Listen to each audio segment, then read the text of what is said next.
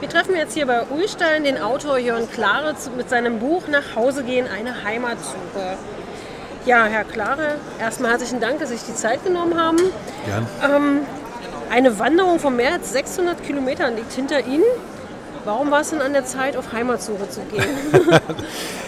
ich glaube, es ist nicht ganz zufällig, dass ich diesen Entschluss um meinen 50. Geburtstag herum gefasst habe. Und der hing aber auch damit zusammen, oder der Auslöser war, ich lebe seit 30 Jahren in Berlin, bin im, am Rand des Ruhrgebiets aufgewachsen.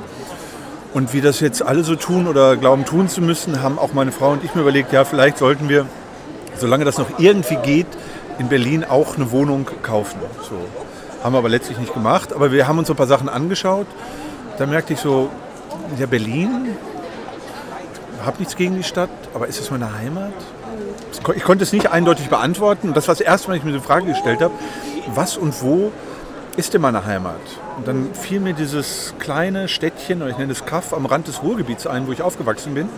Und dachte, ähm, war erstmal erschrocken und dachte, hm, und dann noch einigen anderen Überlegungen dachte ich, ja, dem äh, will ich, muss ich mal nachgehen.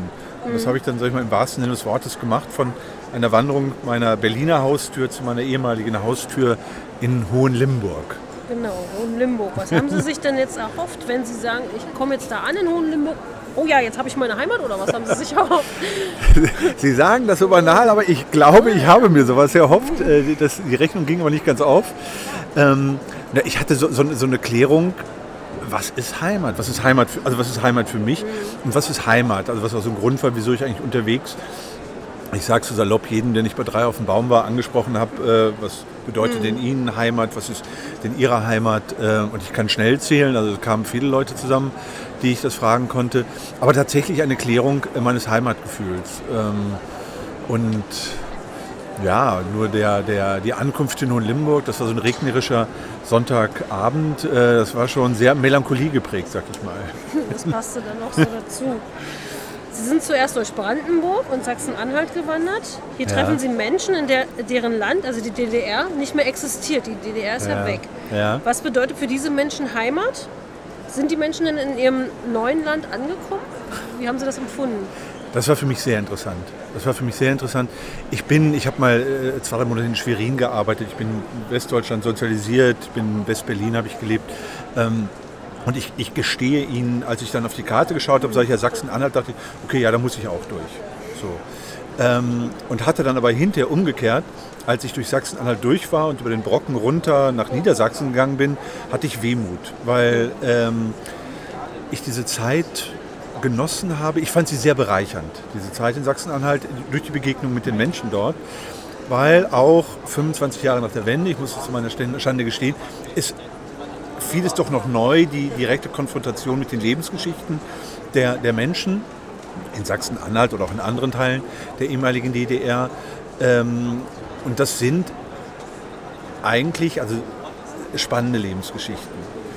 Das heißt nicht, dass es immer glückliche Lebensgeschichten sind, weil äh, viele dieser Lebensgeschichten ist gemein ein Bruch in der Biografie, der 1990 geschehen ist, wo viele Regeln neu ausgewürfelt wurden, ähm, vieles sich verändert hat, viel an Vertrautheit, auch Geborgenheit verloren gegangen ist und damit auch Heimat verloren gegangen ist.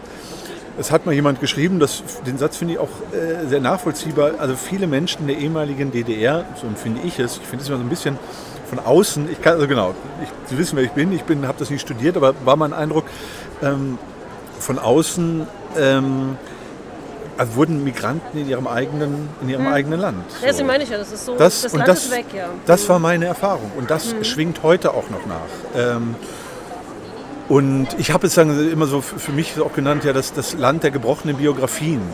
Fürchterliche Verallgemeinerungen, Verallgemeinerungen sind immer schlecht, aber sie helfen manchmal weiter oder Sachen hm. auch zusammenzufassen. Und ich muss sagen, auch da heraus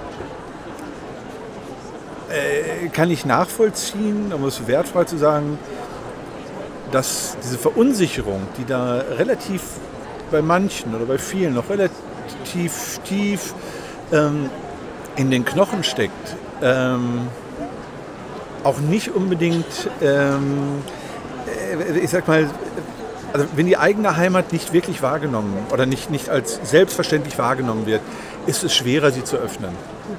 Ähm, es ist schwerer, fremde Menschen einzuladen. Schwieriges Thema, wissen wir, aber also da konnte ich mm, ja, etwas verstehen, was mir vorher nicht so klar war, dass da etwas zusammenhängt. Ich habe das sehr, sehr genossen, durch Sachsen-Anhalt zu gehen und, äh, mit den Menschen zu sprechen und vieles war für mich neu. Und ähm, ja, wie Sie sagen, da ist viel, ja, viel 1990 viel kaputt gegangen, was noch nachwirkt. Aber sind, sind die denn angekommen nun in ihrem neuen Land oder ist es da immer noch so? Sind sie noch so stark auf Suche? Was meinen Sie? Bitte? Sind die Leute angekommen in ihrem neuen Land oder sind sie immer noch so auf der Suche? Es hängt sehr von der Generation ab, hm. glaube ich. Ähm, angekommen, es gibt welche, die sind angekommen. Ich glaube, arrangiert würde es mehr treffen. Okay. Ich glaube, viele, äh, oder vielleicht auch die meisten, das sollen Soziologen herausfinden oder nicht, viele haben sich arrangiert. Ähm, haben gesagt, okay, ja, das ist jetzt so, es hat ja nicht nur Nachteile gebracht, äh, so die, was 1990 passiert ist, äh, muss man auch so sehen. Aber äh, hat auch eine Menge Nachteile gebracht, die man vorher vielleicht nicht so gesehen hat, nicht erwartet hat. Und ich glaube, viele haben sich arrangiert. Also ich habe jetzt, äh, könnte mich jetzt nicht erinnern, dass mir konkret jemand gesagt hat, ja, äh, die, die, Mauer soll wieder da sein oder, oder irgendwie sowas, so ein, so ein Blödsinn, der äh, gern kolportiert wird, ist mir zumindest persönlich nicht begegnet. Ähm, hm. Aber es ist mehr arrangiert als angekommen. Okay.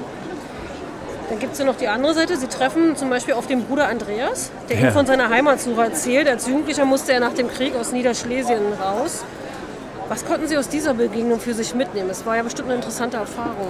Das war eigentlich eine meiner, meiner einprägsamsten oder beeindruckendsten äh, Begegnungen. Das war halt ein, ein, ich bin an einem Kloster im Sauerland schon ähm, vorbeigekommen und hatte da auch vorher angerufen, ich würde gerne mit jemandem sprechen. Und dann war das ein bisschen so chaotisch, aber dann saß ich in einem Raum, es kam ein Mann. Und ich wusste ja, ein Mönch, und dachte, ja, wie, wie bringe ich den zum Sprechen? Also war auch wieder ein schönes Vorurteil. Und der war so auf dem Punkt, ich hatte mir so ein paar Fragen, der war so auf dem Punkt, also ich kam gar nicht zu meinen Fragen. Und äh, sagte, ich habe vorher zu der Frage meditiert und, äh, und ich nach einer halben Stunde muss ich sagen, es tut mir leid, äh, ich hatte auch gedacht, wir sprechen länger, aber ich weiß nicht, was ich fragen soll, ähm, weil, weil er so war. Und dann, ja, er, für ihn, äh, er ist praktisch, sagt er, deswegen ins Kloster gegangen, weil er seine Heimat verloren hatte.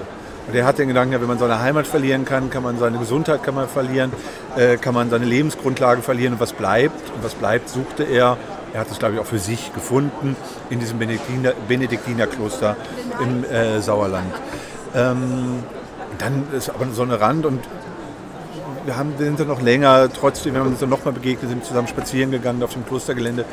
Zum Abschied äh, kam er zu mir oder bedankte er sich bei mir für das Gespräch. Und ich dachte, ja, höflicher Mann, äh, weil ich hatte von ihm gelernt, ich hatte ihm zugehört. Und dann sagte er, nee, äh, ihn hätte 60 Jahre lang niemand nach seiner Heimat gefragt. Das hat mich dann sehr berührt, dachte ich. Wenn das ein Trauma ist und er konnte 60 Jahre lang nicht darüber sprechen, ähm, das ist, ähm, ja, das hat mich, hat mich sehr berührt. Aber man trifft, also ich meine, heute ist ja viel von Flüchtlingen äh, äh zwangsläufig und zu Recht die Rede. Ähm, aber man vergisst ja, was nach dem Krieg, also wie viel, wie viel äh, Flüchtlinge, Vertriebene, Neubürger, wie man, man sie nennen mag, nach Deutschland kamen und aufgenommen werden musste. Und ähm, diese Erfahrung steckt, das kam mir öfters so, beiläufig. Und, und unterhält sich ja, ich bin ja auch vertrieben worden oder ich da und da. Ähm, aber auch Leute, die das eigentlich in der Regel ja, sich dann doch irgendwie arrangiert hatten. Aber es waren ja auch jetzt 70 Jahre äh, später Leute, die das als Kind erlebt hatten, die also schon sehr früh die Möglichkeit hatten, sich zu sozialisieren äh, neu in ihrer, in ihrer neuen Umgebung. Obwohl es gab auch welche, die sagten, einer, der sagte, ich habe immer noch einen, einen Sachsen-Anhalt war das auch eine Begegnung, ich habe immer noch eine starke Beziehung zu Masuren, ähm, obwohl er da, glaube ich, mit sechs Monaten weg ist. Aber das geht oft tiefer, als man denkt. Wird natürlich über Familiengeschichten auch so in die eigene Biografie reingegraben. Wichtiges Thema, über das man reden sollte, gerade heutzutage jetzt. Es ist, ist ein wichtiges Thema. Ähm, es ist ein sehr schönes Thema, muss ich auch sagen, weil es ist, ähm, ich sag mal, mit meiner Heimatfrage oder wenn, man, wenn, ich, wenn es mir gelungen ist, was mir in der Regel, das liegt weniger an meinen Fähigkeiten, schnell gelungen ist, mit Leuten über ihre Heimat zu sprechen, hat man auch sehr schöne Gespräche. Mhm. Weil Heimat lässt keinen so kalt. Mancher mag seine nicht oder will, sucht sich eine neue. Aber das ist ein, ein Thema, das sehr schnell so an so wesentliche Punkte oder existenzielle Punkte einer Biografie heranreicht. Also wenn man nicht weiß, worüber man reden soll mit einem Fremden und vielleicht das Wetter schon erledigt ist, ist Heimat eine gute Empfehlung, um, um in ein, ein weiterführendes, äh, weiterführendes Gespräch zu kommen. Mhm. Mich hatte zum Beispiel sehr berührt, wir hatten mal eine Doku gesehen von jemand, der aus Syrien kam und der hat sich einfach seine Erde mitgenommen. Das ja. fand ich auch total ja, berührend und das ja. war auch so die Zeit, wo ich ihr Buch gelesen habe und da war ich total berührt. Also den Schal seiner Mutter und Erde. Ach, und das ist dann auch eigentlich, ja, ja. Da denkt man auch, also da sollten die Leute mal an sowas denken, ja. ja. Das ist eigentlich nur dieses Heimatgefühl, ja, was sie jetzt auch aufgeben. Ja. Gut.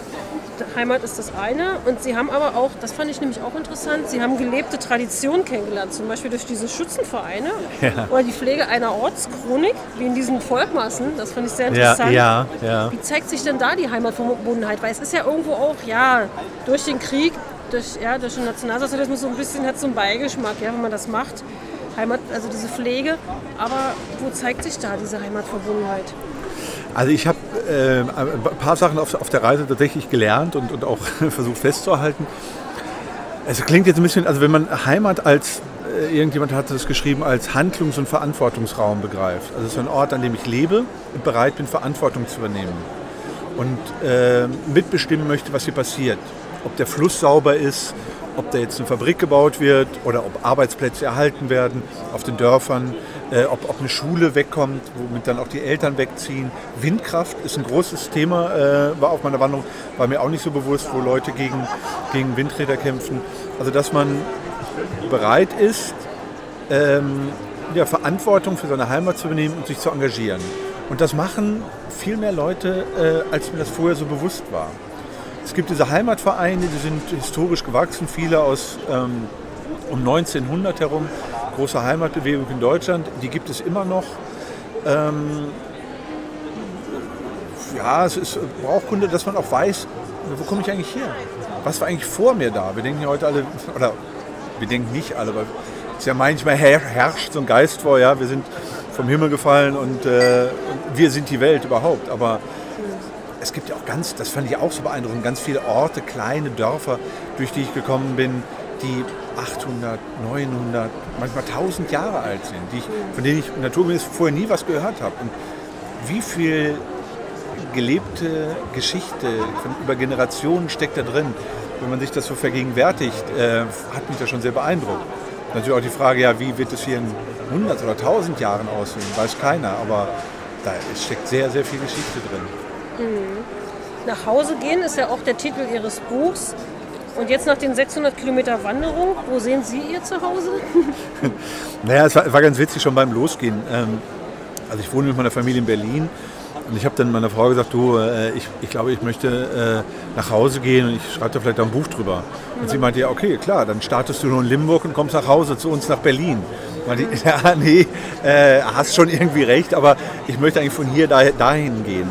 Ähm, also meine alte Heimat und ich dachte, mit dieser, mit dieser 600 Kilometer Wanderung würde ich so meine alte Heimat in Anführungszeichen los. So, dann habe ich das Thema erledigt in meiner Biografie und äh, muss mich dann nicht mehr groß kümmern oder nicht mehr mit beschäftigen.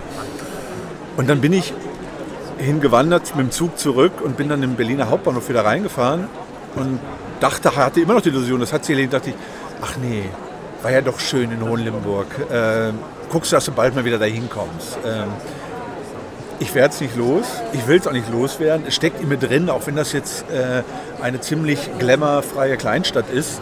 Ähm, aber es ist aus verschiedenen Gründen nicht der Ort, wo ich wieder leben werde, denke ich. Schon meiner Familie, äh, die in Berlin lebt, denen zu erklären, ja, wir ziehen jetzt noch in Limburg, könnte sehr schwierig werden. Äh, also diese alte Heimat ist so in Limburg, das werde ich nicht los. Aber wenn man, wie ich das ja am Anfang äh, der Beschäftigung mit dem Thema hatte, so ein ja, so, ein, so ein Heimatdefizit spürt. Die Frage, ja, wo ist denn meine Heimat oder was ist denn Berlin?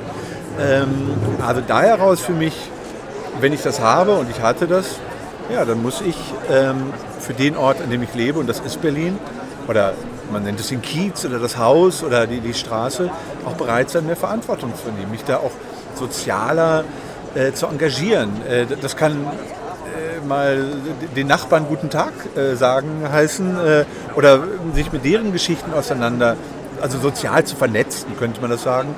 Oder auch gucken, ähm, was ist mit dieser Straße, äh, die wird ja jetzt noch ausgebaut, was bedeutet das mit dem Abgasen, also dass man auch guckt, ähm, hier lebe ich, hier nehme ich Verantwortung, weil das ist meine Heimat, die will ich nicht irgendwelchen fremden, oft wirtschaftsgesteuerten Interessen überlassen. Äh, nee, hier muss ich Farbe bekennen so, und, und mich auch, ja, auch Energie reinstecken. Gut, dann danke ich Ihnen fürs Gespräch Gern geschehen. und ja, viel Ja, Erfolg. vielen Dank.